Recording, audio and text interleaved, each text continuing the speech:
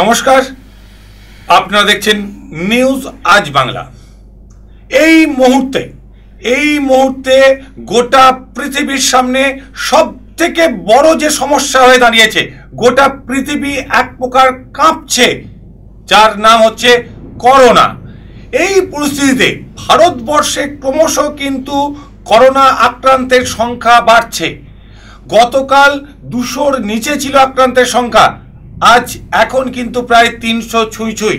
অনেকেই ভাবছেন একশো তিরিশ কোটির দেশে এই সংখ্যাটা অত্যন্ত কম। এই একই ভাবনা কিন্তু ইতালি সহ অনেক দেশই ভেবেছিল। আর যারাই এই ভাবনাটা ভেবেছিল, সেই দেশে কিন্তু আজকে এখন মৃত্যুর মিছিল চলছে। এই রকম একটি সংকটজনক পরিস্থিতিতে যখন দেশের সংকট কেবল নয়, সারা বিশ্বের সংকট, এই সংকটজনক পরিস্থিতিতে আগামীকাল একটা চোদ্দ ঘণ্টার জনতা কারফিউ ডাক দিয়েছেন দেশের প্রধানমন্ত্রী নরেন্দ্র মোদী। অনেকে এটা নিয়েও খিল্লি করছেন, ভাবছেন তিনি ঘরে বসে থাকবেন না, তিনি রাস্তায় বেরোবেন, ঘুরে বেড়াবেন, কিচ্ছু হবে না। এটা বোধহয় নেহাতি মজার ছলে কোনো কিছু। সত্যই কি তাই?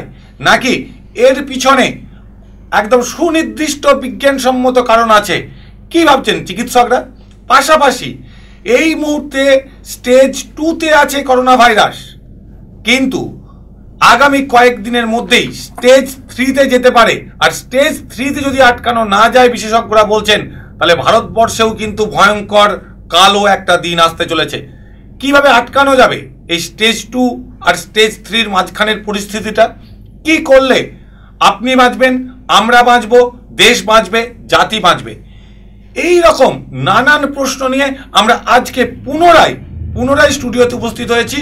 যে বিষয় নিয়ে আপনিই পারেন করোনার মোকাবিলা করতে, আপনি নিজে থেকেই পারেন করোনাকে আটকে দিতে, আপনিই পারেন নিজেকে বাঁচানোর পাশাপাশি দেশকে বাঁচাতে, জাতিকে বাঁচাতে, বিশ্বকে বাঁচাতে। কীভাবে? এইসব নিয়ে আজকে আমাদের আলোচনা, আলোচনায় উপস্থিত আছেন আরামবাগের আগে বলি, এর আগের দিনে উনি ছিলেন।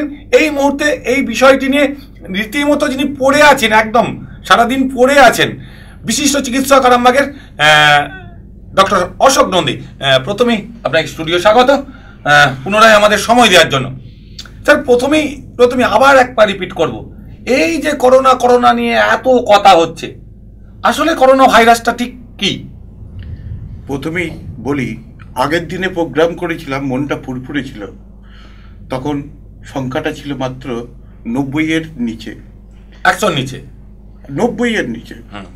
আজকে যখন আমরা বসে আছি তখন এই সংখ্যাটা নব্বই থেকে হয়ে দাঁড়িয়েছে প্রায় দুশো নব্বই।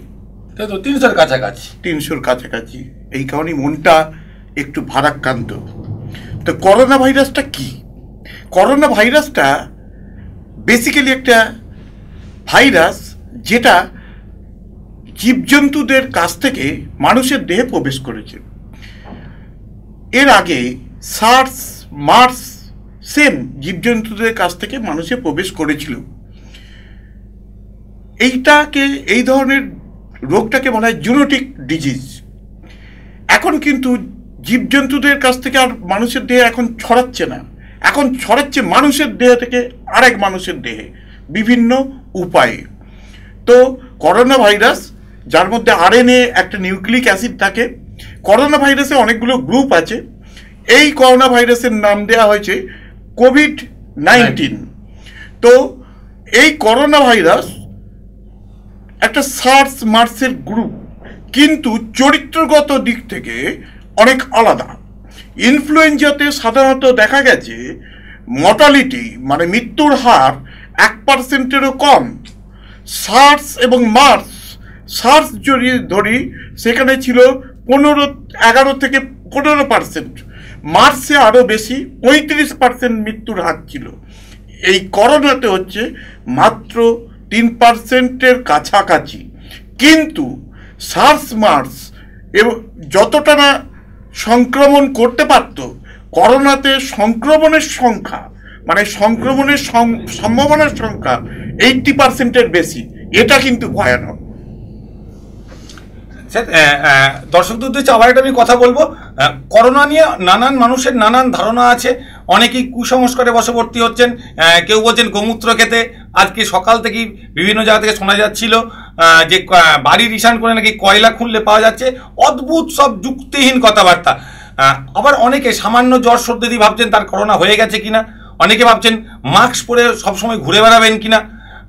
আপনাদের এই সংক্রান্ত যদি কোনো প্রশ্ন থাকে, তাহলে যারা লাইভ দেখছেন লাইভের কমেন্ট বক্সে গিয়ে আপনারা প্রশ্ন করুন আমাদের ডক্টর অশোক নন্দী সেই প্রশ্নের উত্তর দেবে। আমরা কমেন্ট বক্স খেয়াল রাখছি। যদি আপনাদের করোনা সংক্রান্ত কোনো প্রশ্ন থাকে, তাহলে আমরা নিশ্চিন্তে সেই প্রশ্ন করুন। সেই প্রশ্নের উত্তর কিন্তু এই লাইভ অনুষ্ঠান থেকে আপনাদের দেয়া হবে।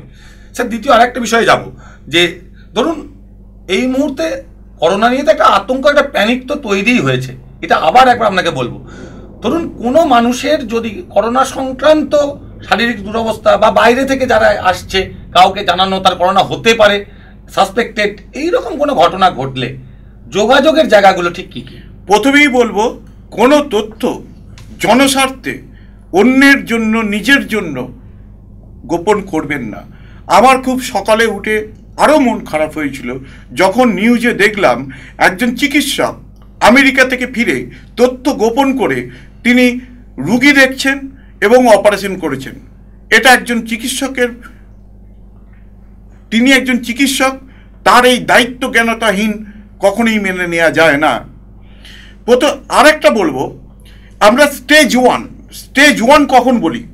যে অন্য দেশ থেকে যখন ভারতে তারা আসছে তারা করোনায় ডিটেক্টেড হচ্ছে করোনা ভাইরাস আক্রান্ত ডিটেক্টেড হচ্ছে। এটাকে বলছি স্টেজ ওয়ান স্টেজ টুটা কি? তারা ভারতে আসছে, অন্য দেশ থেকে। করোনা তার চীনে প্রথমে হয়েছিল, আমরা জানি।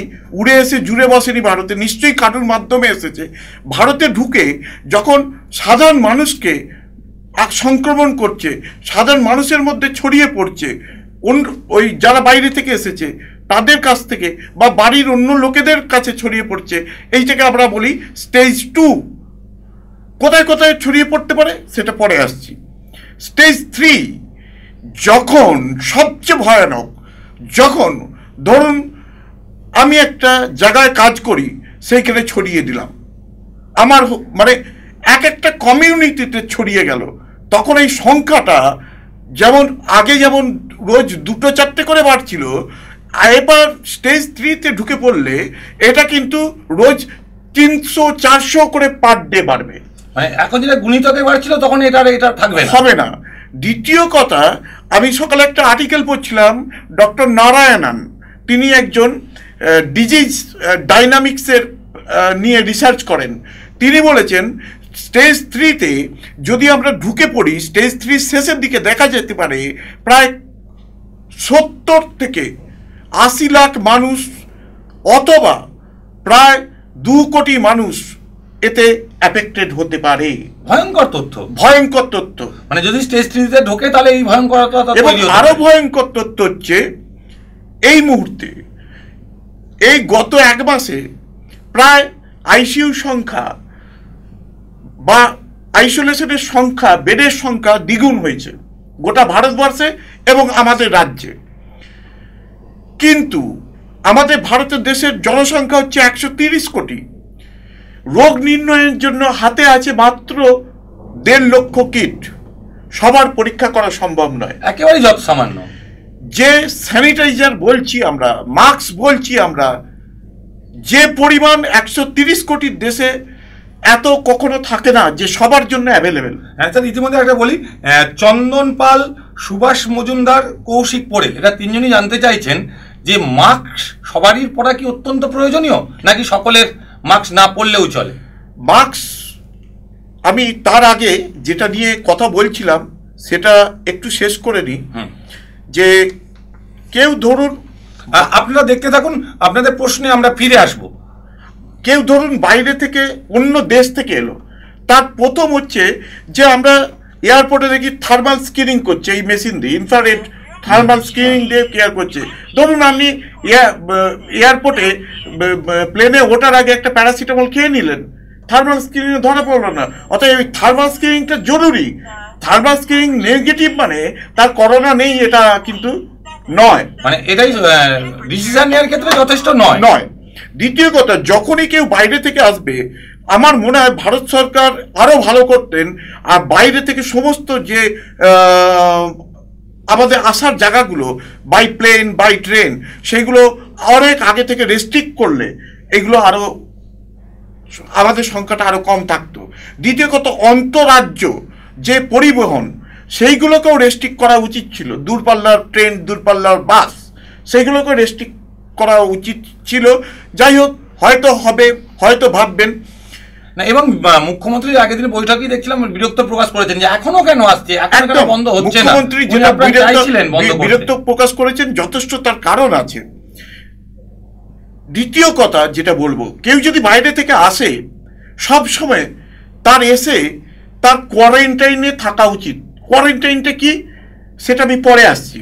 অথবা যে টোল ফ্রি নাম্বারগুলো দেয়া আছে সেখানে ইনফর্ম করা উচিত যে আমি অমুক জায়গা থেকে এসেছি। বা অমুক রাজ্য থেকে এসেছি।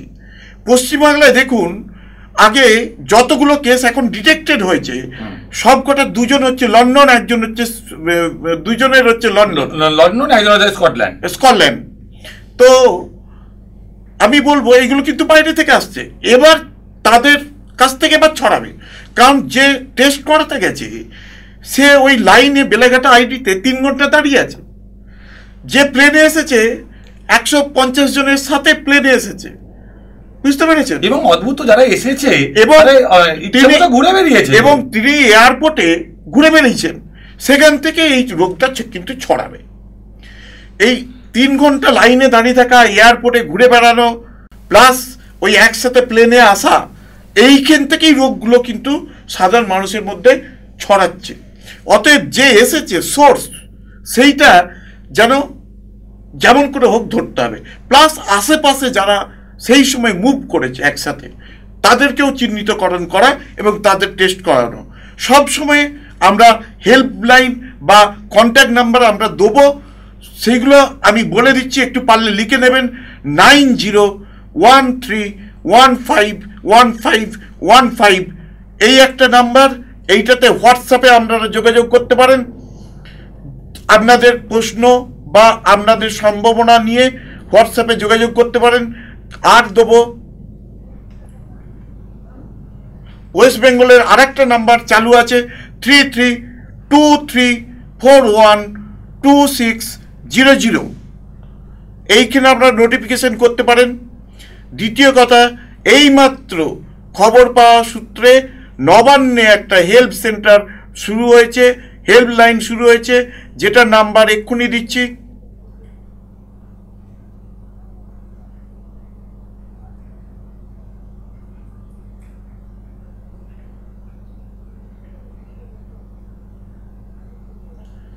হেল্পলাইন নাম্বারটা শুরু হয়েছে যেটা আমি একটু পরেই আমি দিয়ে দিচ্ছি।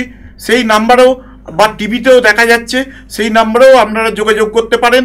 প্রথম কথা আমি যেটা বলব করোনা ফ্রির মোকাবিলায় টোল ফ্রি নাম্বার যেটা নবান্নে আছে সেটা toll free number one zero seven zero এবং zero three three two two one four three five two six মানে যারা নাম্বারগুলো লিখতে পারছেন না তারা লাইভ শেষ হলে পুনরায় ব্যাকে যে নাম্বারগুলো কালেক্ট করে নিতে পারেন এবং আমরা আমাদের আজ বাংলা টিভি চ্যানেল আমাদের ইউটিউব চ্যানেল এবং আমাদের ওয়েবসাইটে এই নাম্বারগুলো কিছুক্ষণ পরেই আপলোড হবে আপনারা সেখান থেকেও কালেক্ট করতে পারেন। দ্বিতীয় কথা আমি যেটা বলব আপনার ধরুন বাড়িতে ফিরে কেউ হয়তো কেরল সবচেয়ে বেশি হয়েছে মধ্যপ্রদেশ তামিলনাড়ু তেলেঙ্গানা মুম্বাই মুম্বাই মধ্যপ্রদেশ এই মহারাষ্ট্র এইখানে সবচেয়ে বেশি হয়েছে। এখান থেকে কেউ যদি আসে দেখবেন পাড়ার লোকেরা হয়তো ঢুকতে দিচ্ছে না।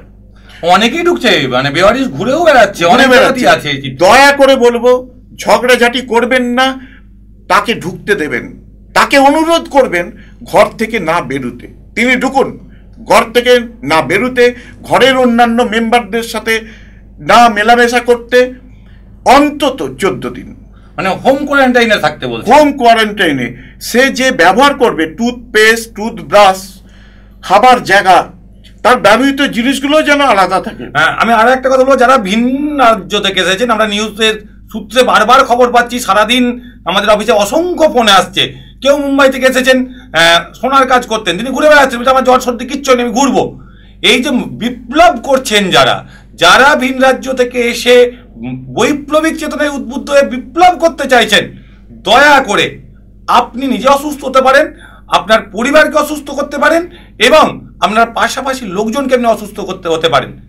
অন্তত পক্ষে চিকিৎসক যা বলছেন, চোদ্দ দিন নিজেকে ঘরের মধ্যে আবদ্ধ রাখুন। দয়া করে সমাজের স্বার্থে আমাদের রাজ্যের স্বার্থে ভারতের স্বার্থে।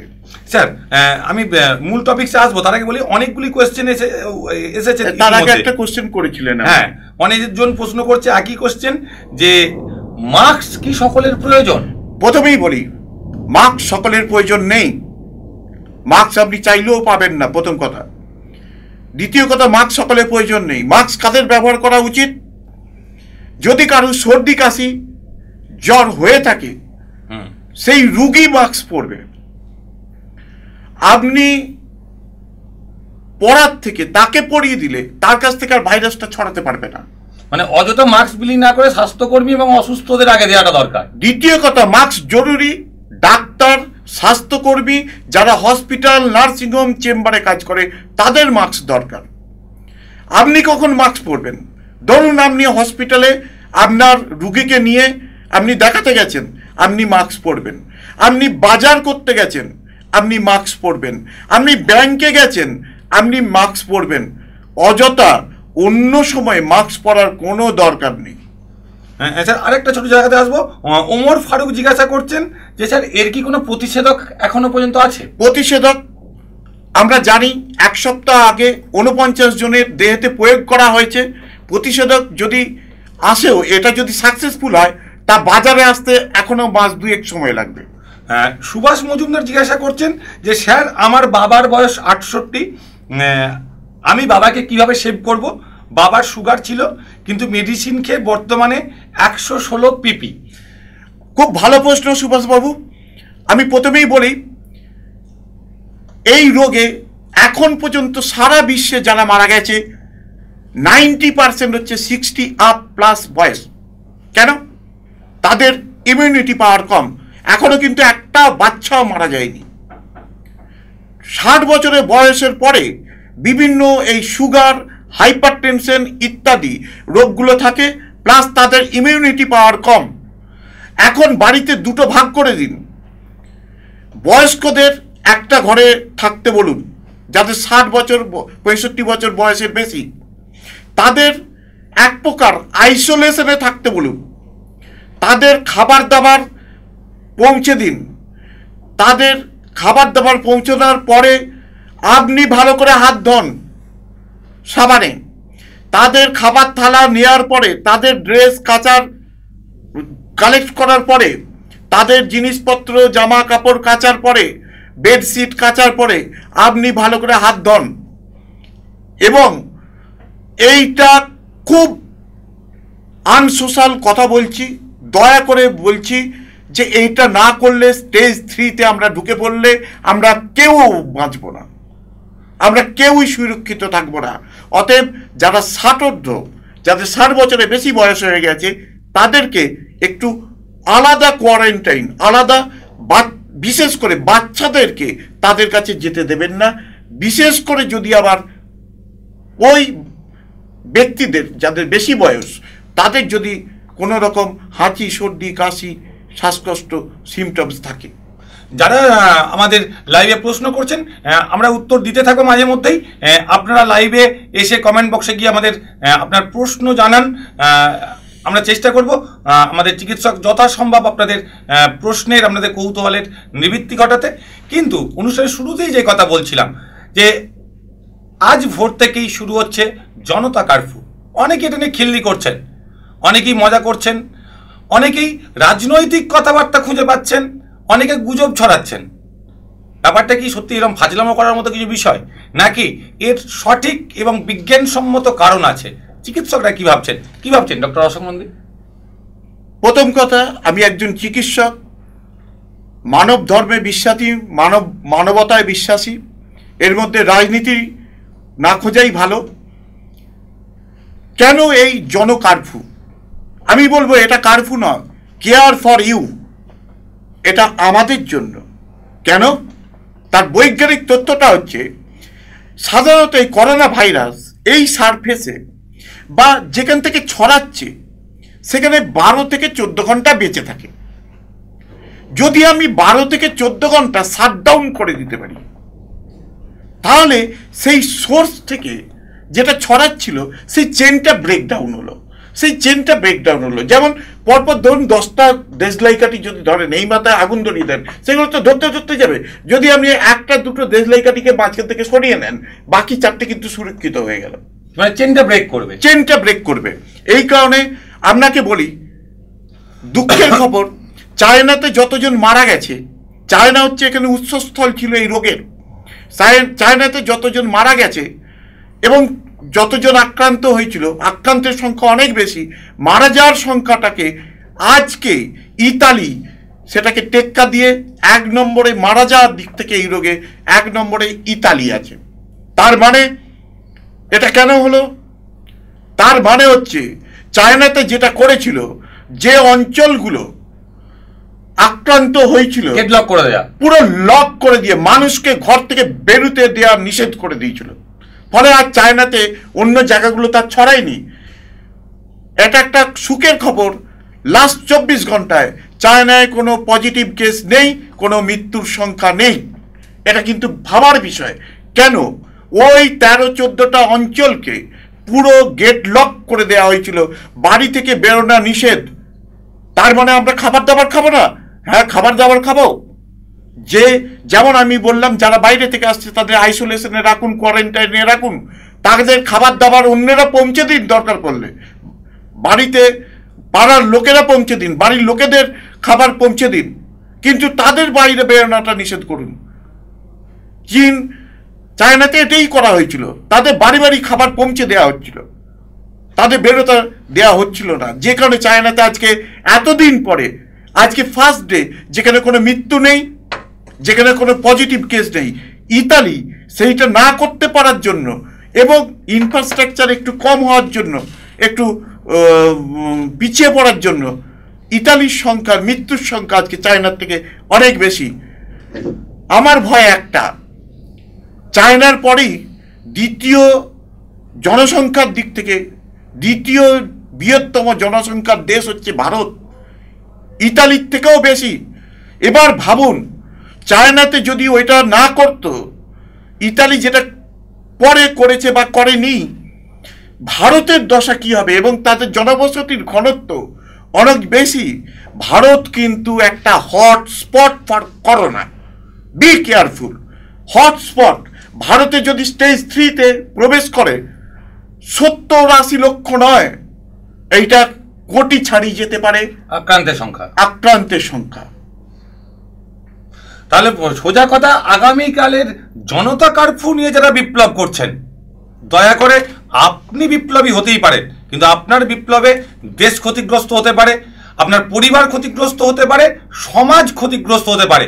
তাই অযথা এর মধ্যে রাজনীতি না খুঁজে দেশকে বাঁচাতে জাতিকে বাঁচাতে, আপনাকে বাঁচাতে, আপনার পরিবারকে বাঁচাতে, জনতা কারফিউটা পালন করা উচিত। জনতা কার্ফিউ শুধু নয়, আমি বলব আগামী চোদ্দ দিন, অযথা বাড়ি থেকে বেরোবেন না। যদি আপনার ডাক্তার দেখানোর কথা থাকে, অমুক ডাক্তারের কাছে ডেট করানো থাকে, অমুক ডাক্তারের কাছে রিভিউ করানোর ডেট থাকে, যদি সেটা মারাত্মক রোগ না হয় এমার্জেন্সি না হয়, পিছিয়ে দিন। পিছিয়ে দিন। হসপিটালে যাওয়া কমিয়ে দিন ব্যাংকে যাওয়া কমিয়ে দিন। যেখানে রোজ বাজারে যে বাজার করছিলেন, সেখানে সপ্তাহে একদিন বাজারে যান। এগুলো করুন। তার কারণ হচ্ছে ট্রেন ট্রাভেল, বাসে ট্রাভেল এইগুলো কমিয়ে দিন। ট্রেনের যে ওই হাতলটা ধরে রাখি, বাসের যে গেটটা ধরে, সেখান থেকেও আপনার দিয়ে ছড়াতে পারে। সেটা মুখে দিতে আমি একটা ছোট্ট তথ্য দিই। ধরুন, কারুর করোনা হয়েছে। সে যদি পাঁচ দিন পর পর পাঁচ দিন আড়াই জনের সাথে মিট করে। ধরুন আমার করোনা হয়েছে, আমি রোজ পরপর পাঁচ দিন আড়াই জন, আমি একটা সংখ্যা দিয়ে বললাম, আড়াই জনের সাথে মিট করে। তাহলে তিরিশ দিন পরে সেটা থেকে চারশো ছজন লোক সংক্রমিত হতে পারে। যদি আমার করোনা হয়েছে, আমি যদি রোজ আড়াইয়ের হাফ করে দিই ওয়ান পয়েন্ট টু ফাইভ লোক লোকের সাথে কথা বলি তিরিশ দিন পরে সেইটা কমে দাঁড়া যেখানে চারশো ছজন হচ্ছিল আড়াই জনে এইখানে ওয়ান পয়েন্ট টু ফাইভে হবে মাত্র পনেরো জন। আর যদি আমি পয়েন্ট টু ফাইভ লোকের সাথে কথা বলি তাহলে সেইটা তিরিশ দিন পরে আমার দাঁড়াবে তিনজন। তার মানে যত আমি কম লোকের সাথে মিশবো সংক্রমণের সংখ্যা তত কমবে। পাতি হিসাব এটা। একটা পরিসংখ্যান দিলাম একজন পরপর পাঁচ দিন যদি আড়াইজনের সাথে মিট করেন যদি কোনো সংক্রমিত পারসন আজকে একটা খবর যেমন বেলেঘাটার একজন সুইপার হ্যাঁ একদম। মানে তিনিও সাসপেক্টেড হয়েছেন এবং ভর্তি হয়েছেন। ভর্তি হয়েছেন তার রেজাল্টটা রাত্রে জানা যাবে। তো পরপর সে যদি মিশতে থেকে আড়াইজন আড়াই জনের সাথে পরপর পাঁচ দিন। তার থেকে ছড়াবে চারশো ছজন সোজা কথা একদম চেন সিস্টেম চেন সিস্টেম চেনটাকে ব্রেক করতে হবে এবং তার। একজন যদি আড়াই জনের জায়গায় তার হাত ওয়ান পয়েন্ট ওয়ান ফাইভ জনের সাথে মেশে তিরিশ দিনের পরে তার থেকে ছড়াতে পারে মাত্র পনেরো জন। তারও হাফ করে নিন যদি পয়েন্ট সেভেন ফাইভ লোকের সাথে পরপর পাঁচ দিন মেশে সেখান থেকে কমিয়ে আরও কমে দাঁড়াবে মাত্র তিনজন। তাহলে কোথায় চারশো ছয় কোথায় তিন তিনজন? তাহলে আপনাকে এবার ডিসিশন নিতে হবে। আপনার কিন্তু ভাববার সময় হয়েছে বস কি করবেন? জনতা কারফিউ পালন করবেন নাকি বিপ্লব করবেন? স্যার বেশ কয়েকজন একই প্রশ্ন করছেন। যাদের বাড়িতে একেবারে সদ্যজাত আছে তিন বছর কারও বয়স কারও দু বছর বা আরও কম তাদের ক্ষেত্রে কি করা উচিত? প্রথমেই বলি তাদের ক্ষেত্রে প্রথমে তার বাড়ির যে যদি কাজের লোক থাকে, তাকে বলতে হবে, কাজের লোক যখনই এলো, তাকে বলতে হবে, তুমি ভাই ভালো করে হাত ধো হাত ধোয়াটা কি করে হয়, কি করে করতে হয়, কতক্ষণ ধরে করতে হয়, কিসে করতে হয়, সেটা আমরা পরে আসছি। ভালো করে সাবান দিয়ে হাত ধো হাত ধুয়ে আমার বাচ্চার জামা কাপড় কাচবে। দ্বিতীয় কথা সব জায়গায় তার মাকে এই যে প্রোটেকশনগুলো নিতে হবে তার মায়ের বাইরে বেরোনোটা উচিত নয়। একদম না বেরোলেই ভালো। না বেরোলেই ভালো হয়। দ্বিতীয় কথা তার মাকে এক দেড় ঘণ্টা ছাড়া ছাড়া হাত ধুতে হবে। এবং যাতে- স্যার আমি আমি বলি ধরুন যারা মাতৃদুগ্ধ খায় সেক্ষেত্রে কি তাদের ব্রেস্ট ওয়াশ করা উচিত? অনেক তো বাচ্চা তো মাতৃদুগ্ধটা পান করে সেক্ষেত্রে শুধু হাত ধোবে না ব্রেস্ট ওয়াশ করবে? না ব্রেস্টে যাওয়াটা খুব আনলাইকলি কারণ সেটা কাভার জায়গা। হাত ধোয়াটা মোস্ট ইম্পর্টেন্ট। দ্বিতীয় কথা হচ্ছে, যতই স্নেহ রোগ জানি দাদু ছাড়া নাতি মানুষ হয় না, নাতি থাকতে পারে না, নাতি ছাড়া দাদু থাকতে পারে না। তাদের বয়স্কদের কাছে যেতে দেবেন না বাচ্চাদের। এই কটা দিন, আগামী তেরো, চোদ্দ, পনেরো বা এক মাস, এরকম। আমরা জানি যত দিন যাবে, এই সমাজে, এই কমিউনিটিতে একটা হার্ড কমিউনিটি তৈরি মানে ইমিউনিটি তৈরি হয়। কেমন? ধরুন আস্তে আস্তে আমাদের দেহে কিন্তু এই করোনার এগেনস্টে ইমিউনিটি তৈরি হতে থাকবে। মানে অলরেডি একজন জিজ্ঞাসা করছে যে ইমিউনিটি পাওয়ার বাড়ানোর জন্য কিছু করা যায় না ইমিউনিটি পাওয়ার বাড়ানোর জন্য কিছু করতে হবে না। অলরেডি এটা আমাদের বডি সিস্টেম তৈরি করবে। দেখুন আগে যে পরিমাণ টিউবারকুলোসিস হতো যে পরিমাণ কলেরা হতো এখন আর হয় না। কারণ এটার এগেনস্টে আমাদের বডিতে একটা ইমিউনিটি তৈরি হয়ে গেছে। এটাকে বলা হয় কমিউনিটি, হার্ড ইমিউনিটি। একটা কমিউনিটির মধ্যে ইমিউনিটি তৈরি হয়। এবার সেটা কতদিনে তৈরি হবে? কোনো কোনো রোগের ক্ষেত্রে দেখা গেছে এটা এক মাস লাগে, কোনো কোনো ক্ষেত্রে দেখা গেছে দু তিন মাস লাগে। এটা আমরা এখনও জানি না বা আমি জানতে পারি না। আমি রেগুলার এই নিয়ে সার্চ করি, কিন্তু এখনও আমার কাছে জানা নেই, তথ্য নেই, এটা কত দিনে ডেভেলপ করবে? আজকে চায়নায় একটা হার্ড ইমিউনিটি কিন্তু তৈরি হয়েছে এটা অনস্বীকার্য না হলে হঠাৎ করে এত সংক্রা- সংক্রমণের সংখ্যা কমতো না বা মৃত্যুর হার কমতো না। এইটা একটা ওখানে তৈরি হয়েছে কারণ চীনে এই রোগটা শুরু হয়েছে নভেম্বর দু হাজার উনিশ থেকে। বেশ কিছুটা সময় চলে গেছে। এটা চায়নাতে একটা তৈরি হয়েছে এটা বোঝা যাচ্ছে একটা কমিউনিটি হার্ড ইমিউনিটি। এটা একটা কমিউনিটির মধ্যে ইমিউনিটি পাওয়ারটা গ্রো করছে তৈরি করে গেছে।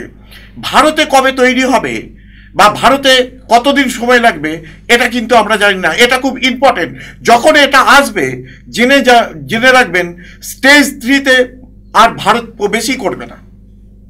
স্টেজ থ্রি প্রসঙ্গে আসব। স্যার তার আগে একটি গুরুত্বপূর্ণ প্রশ্ন আছে। ব্যাঙ্গালোর থেকে মৃন্ময় বেড়া।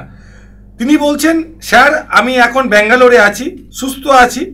বাড়ি গেলে ট্রেনে কি আমার ক্ষেত্রে বেশি রিস্ক হয়ে যাবে? নাকি এখানেই ঘরবন্দি থাকব? স্যার, উত্তর দিলে ভালো হয়। খুব টাফ কোশ্চেন কারণ এখানে ইমোশনের ব্যাপারটা যুক্ত আছে। আমি বলব, ট্রেনে এলে সংক্রমণের সংখ্যাটা বা সম্ভাবনাটা একটু বাড়বে। আপনি ওখানেই গৃহবন্ধু হয়ে সযত্নে এবং যা যা আমরা বলছি, উপায় সংক্রমণ থেকে বাঁচার উপায় সেইগুলো গ্রহণ করে থাকলে আমার মনে হয় আপনি ভালো থাকবেন। আরামবাগের প্রাক্তন এসডিপিও শিবপ্রসাদ প্রাপ্ত লিখে পাঠাচ্ছেন। স্যার দুর্দান্ত একটি অনুষ্ঠান অত্যন্ত কার্যকরী অনুষ্ঠান।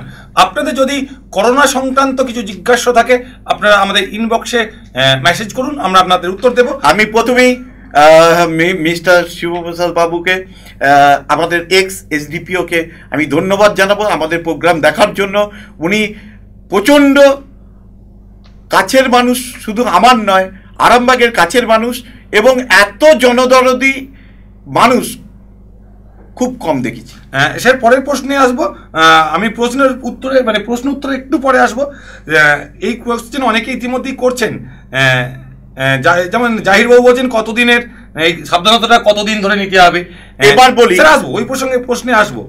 আমি স্যার একটা জিনিস জানতে চাইব যে নর্মাল যে ফ্লু ইনফ্লুয়েঞ্জা টাইপ যে ফ্লু এই সমস্ত ফ্লু আর এই করোনার যে ফ্লু এই দুটোর মধ্যে আলাদা আলাদা। পার্থক্য কি আছে? একজন সাধারণ মানুষ নিজে থেকে প্রথমে কীভাবে বুঝতে পারবেন এটা? প্রথমে বলে দিই প্রথমে এটা আলাদা করা খুব কঠিন। প্রথম তিন চার দিন।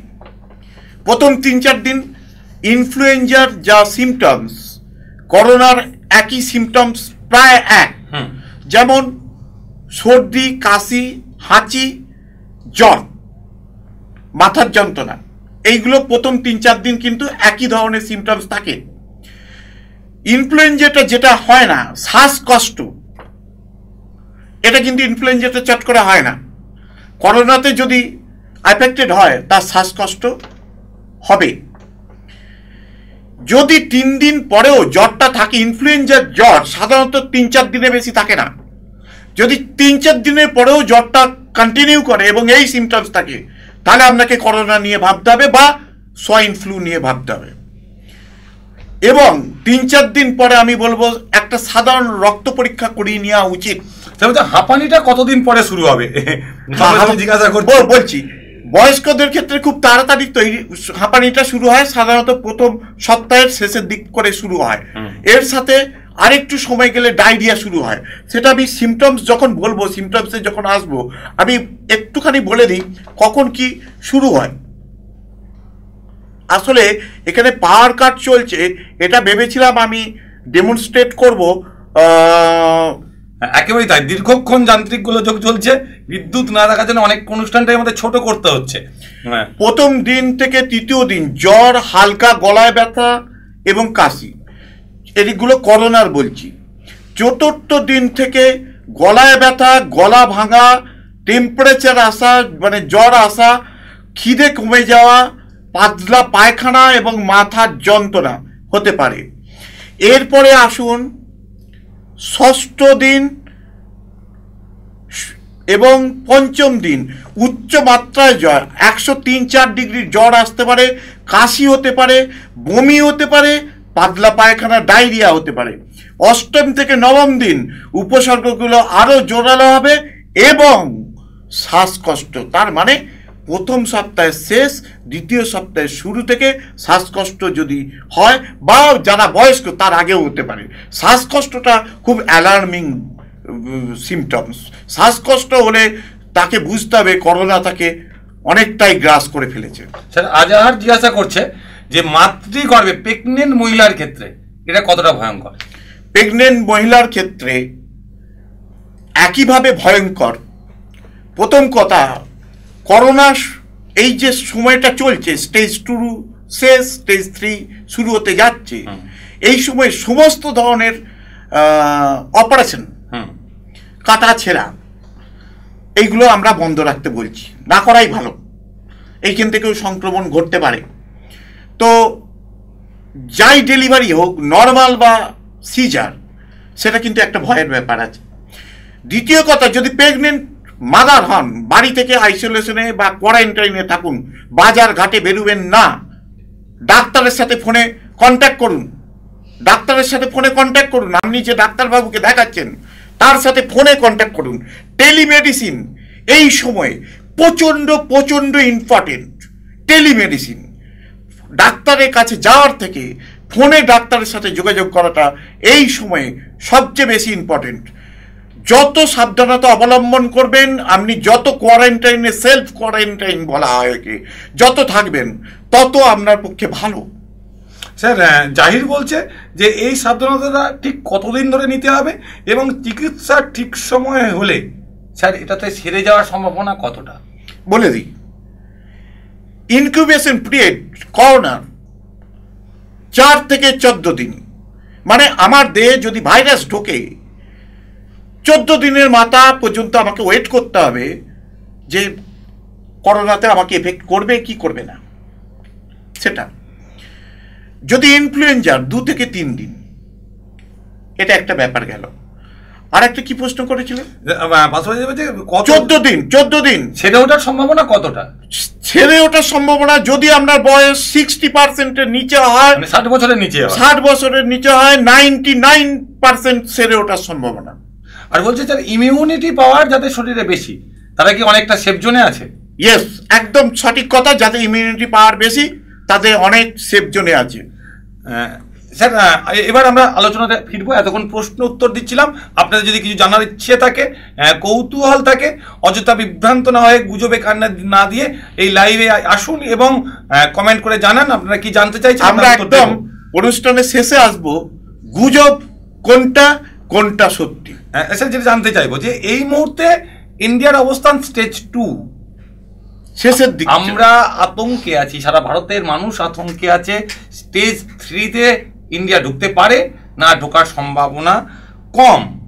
এই যে স্টেজ টু থেকে স্টেজ থ্রি এই বিষয়টা কি যদি একটু ডিটেলিং করে স্টেজ ওয়ানটা হচ্ছে যখন ভারতের বাইরে থেকে অন্য দেশ থেকে ভারতে ঢুকবে করোনা নিয়ে এটা স্টেজ ওয়ান স্টেজ টু হচ্ছে যারা ঢুকলো তারা যখন অন্য মানুষকে সংক্রমিত করবে সেটা হচ্ছে স্টেজ টু স্টেজ থ্রিটা হচ্ছে যখন এটা কমিউনিটির মধ্যে ছড়িয়ে পড়বে মানে তখন আর বাইরে থেকে কে এলো না গেল না আমার আপনার যার কাছ থেকেও ছড়িয়ে পড়তে পারে। এবং সেদিনে তখন আর এই যেটা এখন দেখছেন যে পার ডে পঞ্চাশটা করে বাড়ছে কি একশোটা করে বাড়ছে তখন পার ডে তিনশো চারশো পাঁচশো হাজার ছাড়িয়ে যাবে। মানে এই জায়গাটাকেই আটকাতে হবে। এই জায়গাটাকে আটকাতে হবে। মানে আচ্ছা আমাদের রাজ্য সরকার এবং কেন্দ্র সরকার নানান পদক্ষেপের কথা ঘোষণা করেছেন। আপনার মনে হয় দিস ইজ সাফিসিয়েন্ট প্রথম কথাই বলি কোনো সরকারের পক্ষে এই ধরনের যে দুর্যোগ একটা ভয়ানক রোগকে তার সঠিক পরিষেবা দেওয়া সম্ভব নয় সেটা আমেরিকা হোক ইংল্যান্ড হোক যেখানেই হোক। তার কারণ যত লোক আছে আমাদের দেশটা হচ্ছে একশো তিরিশ কোটির দেশ। আমাদের যে আইসোলেশনের ব্যবস্থা আইসিইউর ব্যবস্থা সেটা যাচ্ছিল আমাদের রাজ্য সরকার এবং কেন্দ্র সরকার সেটা এই গত এক মাসে অলরেডি দ্বিগুণের বেশি করে ফেলেছেন। তবু বলব সেই সংখ্যাটা এখন দেড় লাখ আমাদের দেশে। তাহলে একশো তিরিশ কোটির জন্য দেশের জন্য সেটাও কিন্তু সাফিসিয়েন্ট নয়। একদমই তাই। কিন্তু সরকারের পক্ষে একদিনে এত এত মাস্ক মানে ডাক্তারদের জন্য পাঠানো পুলিশের জন্য পাঠানো হ্যান্ড স্যানিটাইজার পাঠানো এত আইসোলেশন ওয়ার্ড খোলাও খুব টাফ ব্যাপার। এটা একমাত্র যদি সাধারণ মানুষ সরকারকে সরকারের পাশে দাঁড়ায় সে যে সরকারই হোক তবে এই রোগকে আটকানো যাবে। শুধু সরকার রোগটাকে আটকাতে পারবে না সাধারণ মানুষকে সাহায্য করতে হবে। স্যার আসফাজুর রহমান ইনি একজন হকার। ইনি বলছেন ফেরি করে আমার স্যার সংসার চলে। আমি কি এই কদিন ফেরি বন্ধ করে দেব? ক্ষমা করবেন। খুব বলতে খারাপ লাগছে ফেরি করে আপনার সংসার চলে। আমি বলব, বন্ধ করবেন না আপনি ফেরিটা।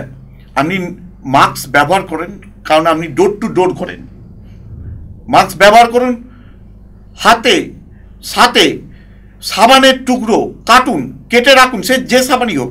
লাইফ বলে লাইফ বয় হতে হবে, এমন নয়। বাটি সাবানও চলবে। খাট সাবান। বাটি সাবানও চলবে। যেটা বলা হয়। এক ঘণ্টা ছাড়া ছাড়া হাতটা ধোন।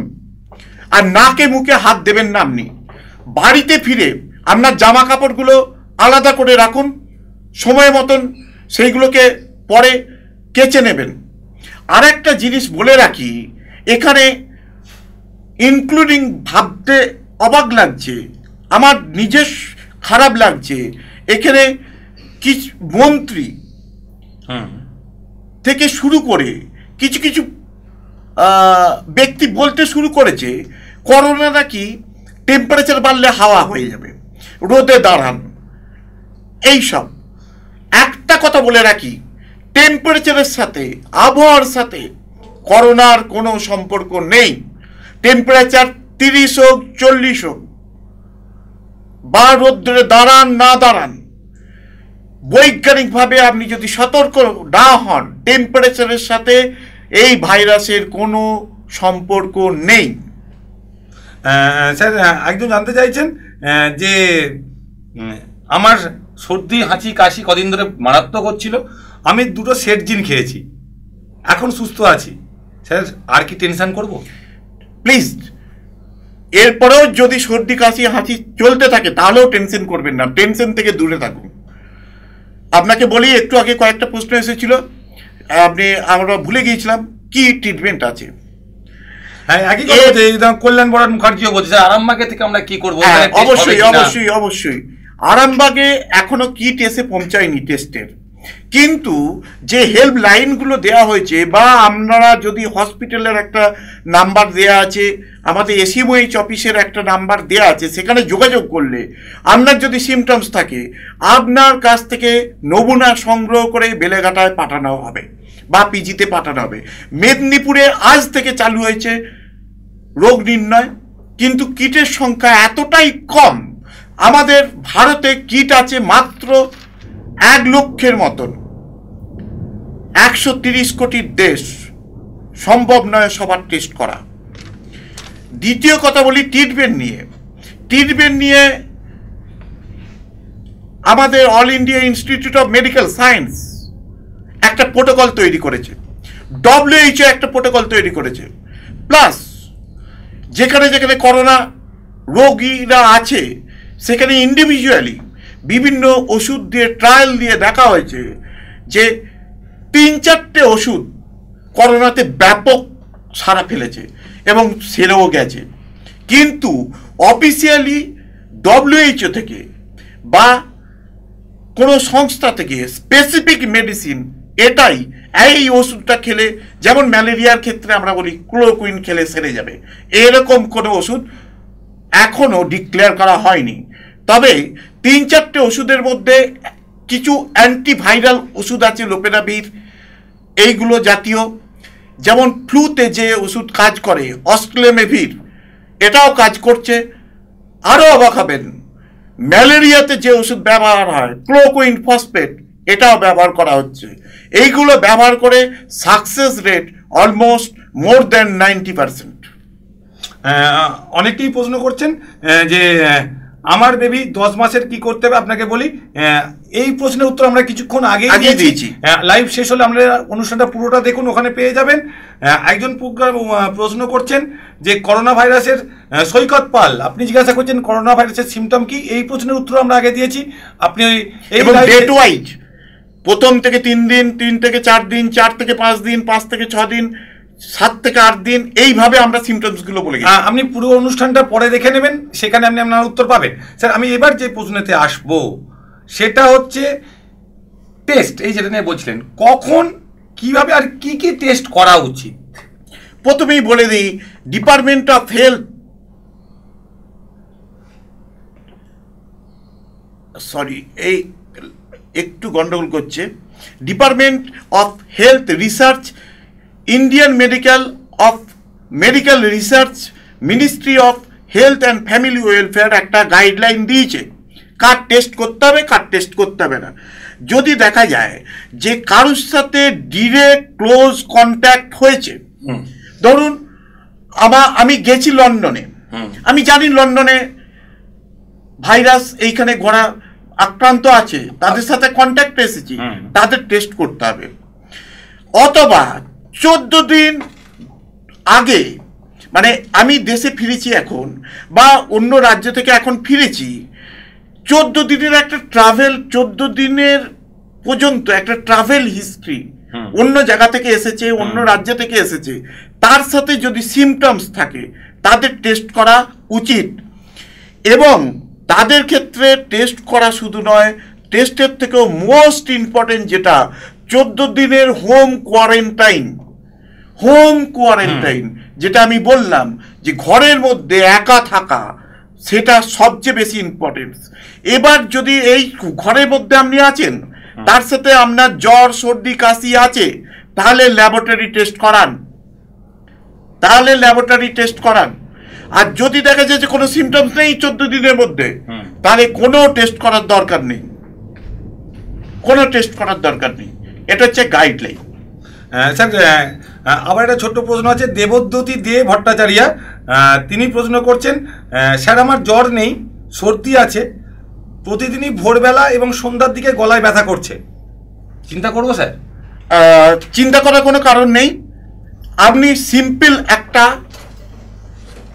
টিসি ডিসি ইএসআর তার সাথে সি রিয়াক্টিভ প্রোটিন এসডিপিটি এইগুলো করিয়ে নিন। আর একটা চেস্ট এক্স রে কেন করাতে বললাম? যদি করোনাতে আক্রান্ত হন, তাহলে আপনার এসজিপিটি বাড়তে পারে সিআরপি বাড়তে পারে। যদি করোনাতে না আক্রান্ত, এমনি ব্যাকটের ফ্লুতে আক্রান্ত হন, এগুলো বাড়বে না। আর যদি কর, যদি ব্যাকটেরিয়াতে আক্রান্ত হন, তাহলে টোটাল কাউন্ট টিসি ডিসি বাড়বে এবং সিআরপি বাড়বে। একবার ডাক্তারের সাথে ফোনে কন্ট্যাক্ট করে নেবেন। আমার মনে হয় যেটুকু আপনি বলেছেন তাতে আপনার ভয়ের কোনো কারণ নেই। সাধারণ আপনি একটা অ্যান্টিবায়োটিক খেতে পারেন। করোনা রুগীদের আমরা অনেক সময় একটা অ্যান্টিবায়োটিক দিই। স্যার এরপরে যেটা জানতে চাইব যে এই করোনা আটকাতে আপনি প্রথমেই এক- একই কথা বলছেন যে সাধারণ মানুষের ভূমিকা ঠিক লাইন এসেছে। চলি স্যার আমরা অনুষ্ঠানে একদমই শেষ প্রান্তে। না আমি তাহলে ওই ভিডিওগুলো একটু দেখাতাম প্লিজ যদি আমি দু মিনিট এটা এটা স্যার আমরা ইউটিউব বা অন্যান্য জায়গাগুলোতে আমরা দেখানোর চেষ্টা করব। না কিছু ইম্পর্টেন্ট ইয়ে ছিল। আচ্ছা ঠিক আছে। দেখা যাক আমরা চেষ্টা করব আপনাদেরকে কিছু ভিডিও পাঠাতে মানে ইউটিউব এবং চ্যানেলে সেগুলো আমরা দেখানোর চেষ্টা করব। এই মুহূর্তে স্যার যে জায়গাটাতে আমরা আবার আবার ফিরে আসব সেটা হচ্ছে সাধারণ মানুষের এটা আটকাতে। ঠিক ভূমিকা কতটা? প্রথম কথা, সাধারণ মানুষকে বলব রেস্টুরেন্টে যাবেন না, বাজারে যত পারেন কম যাবেন, ডাক্তারখানায়, ডাক্তারের কাছে যত পারেন কম যাবেন, যেখানে ভিড় ভাড় হয় চায়ের দোকানে চায়ের দোকানে আড্ডাতেও যাবেন না। হসপিটালে কম যাবেন, যেখানে ভিড়গুলো হয়, সেইখানে যতটা পারবেন কম যাবেন। দ্বিতীয় কথা ড্রপলেট ইনফেকশন হাঁচি কাশি দিয়ে এটা খুব বেশি ছড়ায় না। কথা বলার সময় অন্তত এক মিটার মানে তিন ফুট ডিস্টেন্স মেনটেন করুন। তাহলে হাঁচি কাশির মাধ্যমে যাওয়ার সম্ভাবনা কম। সবচেয়ে ইম্পর্টেন্ট যেখানেই যান, ফিরে এসে হাতটা ভালো করে ধুন। হ্যান্ড স্যানিটাইজার ব্যবহার করুন। চতুর্থ কথা, ভাবছেন বাসে যাচ্ছি। বা ব্যাংকে গেলাম, কি হবে? ব্যাংকের ওই দরজাটা তো ধরে টানছে অনেকে, ওই হাত দিয়েও হতে পারে। আর এখন হচ্ছে যেটায় টাকা গুনছেন, অনেকে দেখবেন থুতু দিয়ে টাকা গোনে, থুতু দিয়ে টাকা গোনে, টাকা গোনার পরেও হাত ধোবেন। টাকা না গুনলে তো আর চলবে না, পেট চলবে না। তো টাকা গুনেও হাত ধোবেন। আর বলব, বাজারে যাওয়া, যেখানেই যান, হাত ধোয়া হাত ধোয়া হাত ধোয়া হ্যান্ড স্যানিটাইজার ইউজ করা, এগুলো মাস্ট স্যার এই এবং আগামী চোদ্দ থেকে চোদ্দ দিন থেকে প্রায় এক তিন সপ্তাহ যতটা পারবেন ঘরের মধ্যে বন্দি থাকুন। হ্যাঁ, স্যার এই করোনার মোকাবিলাতে একটা মানে গুরুত্বপূর্ণ ভূমিকা এবং যাদের উপর আমরা ভরসা করি স্বাস্থ্যকর্মী। অনেক সময় স্যার বিভিন্ন সোশ্যাল মিডিয়াতেও দেখছি স্বাস্থ্যকর্মীরা মাস্ক পাচ্ছে না। স্বাস্থ্যকর্মীদের কিছু ক্রাইসিস আছে। বা অন্যান্য দেশে দেখেছি কিন্তু স্যার চিকিৎসকরাও মারা যাচ্ছেন। স্বাস্থ্যকর্মীদের ঠিক কি ধরনের সাবধানতা নেওয়া উচিত? আমাদের দেশেও এখানে আরেকটা কথা বলি। গ্রামের দিকে দেখা- যায় আশা কর্মীরা যারা একেবারে নিচুতলার স্বাস্থ্যকর্মী তারা কিন্তু বাড়ি বাড়ি যান। কারও জ্বর আছে কিনা যারা বাইরে থেকে এলেন তাদের প্রতিনিয়ত লক্ষ্য রাখার কাজটা প্রাথমিকভাবে ওনারাই করেন। ঠিক ওনাদের জন্য এবং চিকিৎসক নার্স সাপোর্টিং স্টাফ এনাদের কি ধরনের সাবধানতা নেওয়া আমি প্রথমে একটা কমন ব্যাপার বলে দিই যেটা স্বাস্থ্যকর্মীদেরও দরকার এবং জেনারেল মানুষেরও দরকার। প্রথম হচ্ছে hand washing for twenty seconds hand washing এইভাবে এইভাবে এইভাবে এইভাবে এইভাবে এইভাবে এইভাবে এইভাবে এইভাবে। টোটাল কুড়ি সেকেন্ড হুম। কুড়ি সেকেন্ড ধরে হাত ধুতে হবে। সাবান অথবা অ্যালকোহল যুক্ত হ্যান্ড স্যানিটাইজারে দ্বিতীয় কথা, এখানে ওখানে হাত ছোবেন না। এইটাকে রাখতে হবে।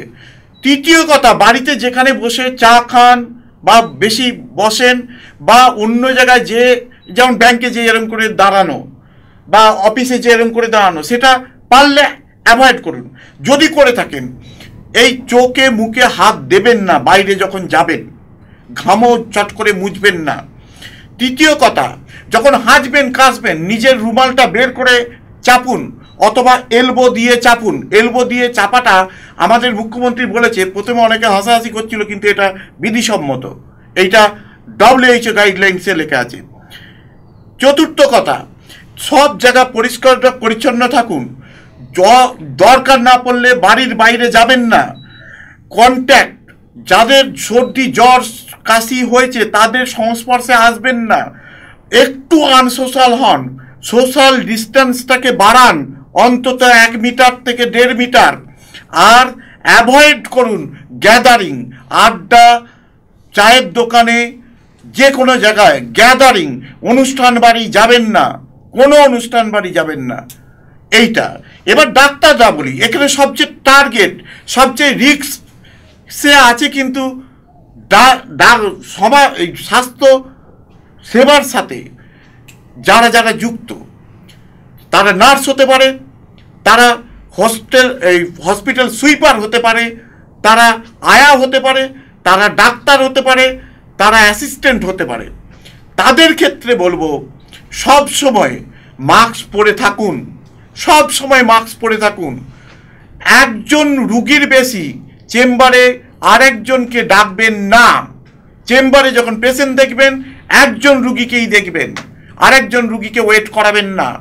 চেম্বারের বাইরে রুগীরা যখন যেখানে ওয়েট করবে, সেখানে একটা ডিস্টেন্স মেনটেন করে করতে বলবেন।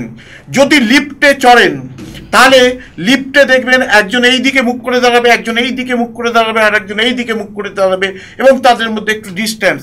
হুড়ুহুড়ি করে লিফটে একসাথে চড়বেন না, যেটা আমাদের অফিস কাচারে হয়। বা হসপিটালে যে লিফটে ডাক্তারবাবুরা যখন ওঠেন, তখন জেনারেল পাবলিকের সাথে ওঠাটা ঠিক না। দ্বিতীয় কথা, এই যখন স্টেথোস্কোপটা বারবার স্যানিটাইজার দিয়ে পরিষ্কার করা উচিত, ডাক্তারবাবুদের সেফ থাকার জন্য সবচেয়ে তারা হাই রিস্ক জোনে আছে। ডাক্তাররা, নার্সরা হসপিটাল সুইপাররা যারা অ্যাসিস্ট্যান্ট তারা, তাদের ক্ষেত্রে বেশি করে সাবধানতা নিতে হবে। এবং ডাক্তারবাবুরা যে জামা কাপড় পরে চেম্বারে বা ক্লিনিকে বসছেন বা যে স্বাস্থ্যকর্মীরা যা জামা কাপড় পরে হসপিটালে বা চেম্বারে আছেন, বাড়িতে যে সবচেয়ে আগে সেইগুলোকে খুলে ফেলুন। খুলে ফেলে আলাদা করে দিন। প্রত্যেক দিন জামা কাপড় কাচুন। এক জামা দ্বিতীয় দিন পরবেন না। হ্যান্ড কারচিপ রুমাল, টিস্যু পেপার সাথে রাখুন। সেইগুলো ডাস্টবিনে ফেলুন। সব সময় ক্যারি করুন নর্মাল রুমালটা কাপড়ের রুমালটা কি ব্যবহার করা যাবে? রুমাল ব্যবহার করা যাবে। ব্যবহার করা যাবে। করা যাবে। আহ, স্যার আরেকজন প্রশ্ন করছেন sir SARS COVID one SARS COVID two এবং কোভিড উনিশ এগুলো কি সবই এক? মোটেই না। এদের জিনগত দিক থেকে এরা আলাদা। কিন্তু একই বংশের বলতে পারি। মানে আমি বা আমার দাদু হয়তো একটা কানেকশন আছে কিন্তু আমাদের চরিত্র আলাদা। তার কারণ হচ্ছে এই COVID one, COVID two, SARS বা মার্স, এদের মর্টালিটি রেট ছিল অনেক হাই। সার্সে যেমন ছিল ইলেভেন পার্সেন্ট মার্চে যেমন ছিল থার্টি ফাইভ পার্সেন্ট, কিন্তু করোনাতে মাত্র অ্যারাউন্ড তিন পার্সেন্ট, থ্রি পার্সেন্ট। সার্স, মার্সের ইনফেক্টিভিটি মানে সংক্রমণের সংখ্যাটা যেমন কম ছিল এখানে কিন্তু সংক্রমণের সম্ভাবনা এই কোভিড নাইন্টিনে অনেক বেশি। স্যার আর একটা বিষয় অনেকেরই কৌতল অনেকেই প্রশ্নটা করছেন যে স্যার মৃত্যুর দিক থেকে মৃত্যুর হারে কাদের ক্ষেত্রে কতটা পার্সেন্টেজ আছে মৃত্যু দেখুন এখন পর্যন্ত বিলো ফিফটি একজন দুজন ডাক্তার হয়তো মারা গেছে। তাছাড়া জেনারেল মানুষ যারা মারা গেছেন তারা তাদের মধ্যে ninety percent more than sixty years ninety percent more than sixty years মৃত্যুর হার যদি আমরা জেনারেলি হিসাব করি তিন পার্সেন্টের কাছাকাছি। কিন্তু এই তিন পার্সেন্টের মধ্যে যদি হিসাব করি একশো জন টোটাল মারা গেছে তার মধ্যে নব্বই জন হচ্ছে সিক্সটির উপরে বেশি। বয়স্কদের বয়স। বাচ্চাদের ক্ষেত্রে একদমই কম। বাচ্চাদের ক্ষেত্রে মা যদি সুরক্ষিত থাকে মা যদি এই হেলদি প্র্যাকটিসগুলো করেন তো সাবধানতা নেন। বাচ্চাদের ক্ষেত্রে সেরকম সম্ভাবনা নেই। সবচেয়ে সম্ভাবনা কম হচ্ছে পনেরো থেকে পঁয়তাল্লিশ। আচ্ছা স্যার আমরা অনুষ্ঠানের অনেকটা একদম প্রায় শেষ প্রান্তে এসে উপস্থিত হয়েছি। এই মুহূর্তে এই মুহূর্তে আমাদের বাংলার যেটা সব থেকে বড় সমস্যা বলে মনে হচ্ছে বা ভারতবর্ষেরও সমস্যা। সেটা হচ্ছে হঠাৎ হঠাৎ কিছু মানুষের একেবারেই দায়িত্ব জ্ঞানহীন মন্তব্য যেখান থেকে গুজব রটানো হচ্ছে এবং সেই গুজব থেকে অনেকেই কিন্তু সেটা প্র্যাকটিসের অভ্যাসের মধ্যে আনছেন। যেমন হঠাৎ করে কিছুদিন ধরে শোনা যাচ্ছিল যে গোমূত্র পান করুন এবং গোবর মাখুন। তাহলে নাকি আপনি সুস্থ থাকবেন। কোনো জায়গাতে কোনো কোনো জায়গায় বিক্রি হয়েছে আমি গুজবের কথায় আসব তার আগে বলে দিই করোনা বানানটা মনে রাখবেন C O R O N C for clean your hands C for clean your hands O for off from gatherings gatherings থেকে দূরে।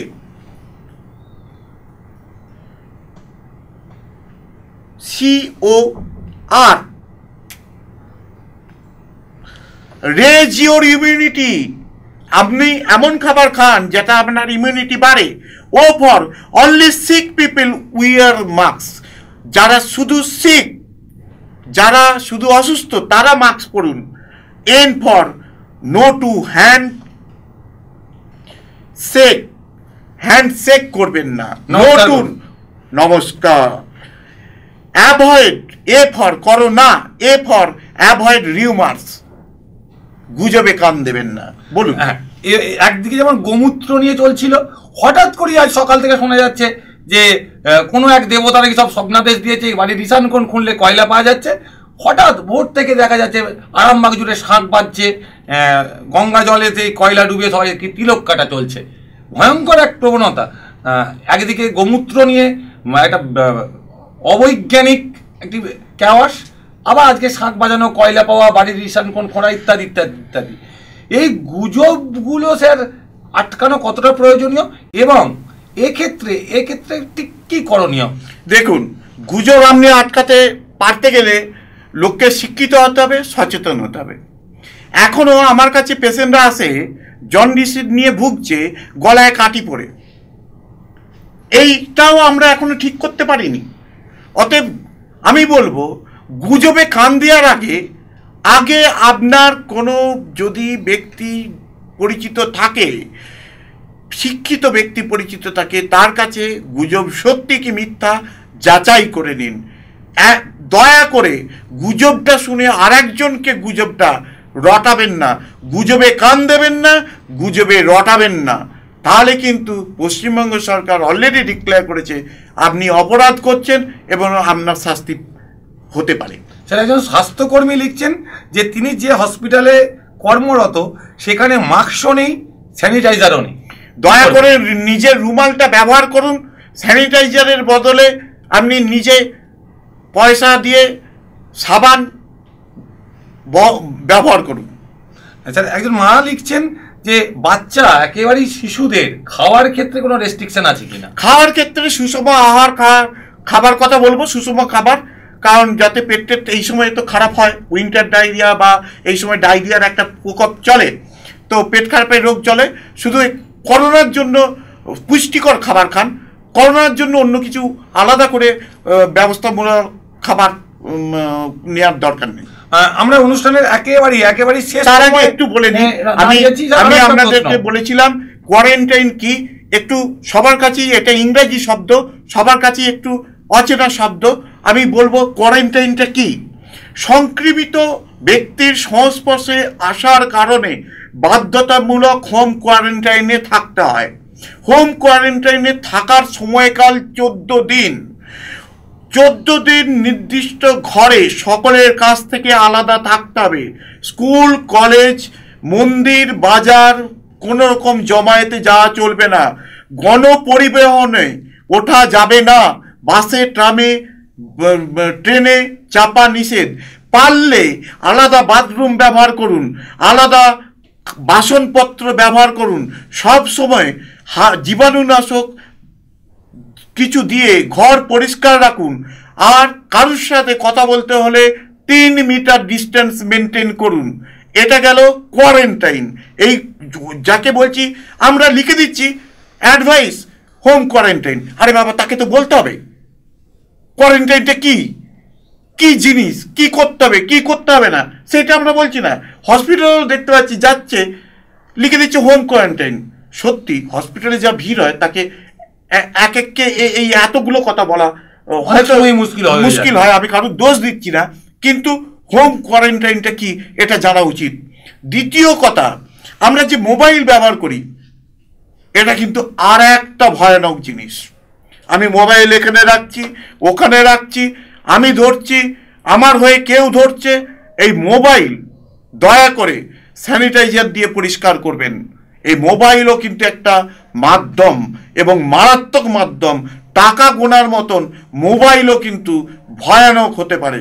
মোবাইল পরিষ্কার রাখবেন। আমরা একদম একদম অনুষ্ঠানের শেষ প্রান্তে দাঁড়িয়ে।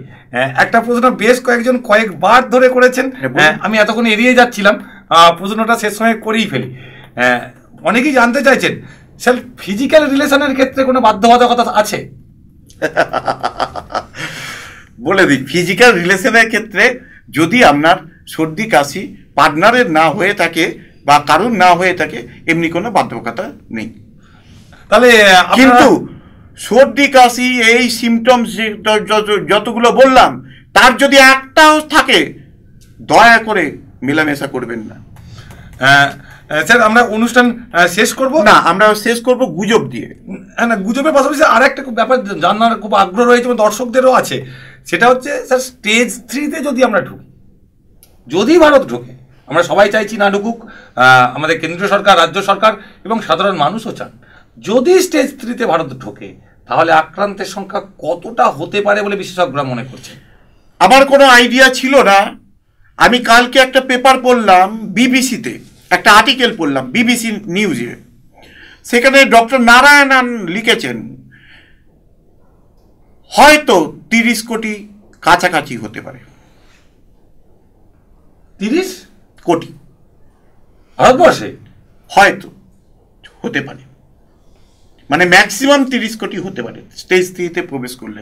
কারণ ভারতের মতন একশো তিরিশ কোটির দেশে জন যেখানে জনবসতি জনঘনত্ব সব থেকে বেশি এবং সারা বিশ্বের দ্বিতীয় জনসংখ্যার দিক থেকে দেশ সেখানে এই সম্ভাবনাটা উনি কিন্তু এই ডিজিজ ডাইনামিক্স নিয়ে উনি কিন্তু রিসার্চ করেন। উনি আশঙ্কা করছেন। উনি আশঙ্কা করছেন। যারা এখনও করোনা নিয়ে যারা এখনও কোভিড নাইন্টিন নিয়ে ততটা সিরিয়াস নন, যারা ভাবছেন, অনেকেই তো রাস্তায় বের হচ্ছে, আমার কিছু হবে না। যারা ব্যাপারটাকে এখনও ঠিক ততটা গুরুত্ব দিচ্ছেন না, দয়া করে এবার থেকে গুরুত্ব দিন। আগামীকাল জনতার কারফিউ পালন করুন। শুধু আগামীকাল নয়, পারলে আগামী বেশ কয়েকটা দিন নিজেকে জনবিচ্ছিন্ন করে রাখুন, ঘরবন্দি করে রাখুন। শুনছেন তো বিশেষজ্ঞরা কি বলছেন? যদি তিরিশ কোটি না হয়েও এর কিছুটাও ভারতবর্ষের ভারতবর্ষকে আক্রমণ করে তাহলে কিন্তু সেটা সামলানো অত্যন্ত কষ্টকর হয়ে যাবে। এখন আজ সকালবেলা পর্যন্ত ছিল পশ্চিমবাংলায় আক্রান্ত সংখ্যা দুই। অ্যাট প্রেজেন্ট এই মুহূর্তে পশ্চিমবঙ্গের সংখ্যা পশ্চিমবঙ্গে আক্রান্ত সংখ্যা বেড়ে দাঁড়িয়েছে চার। তা বুঝতেই পারছেন?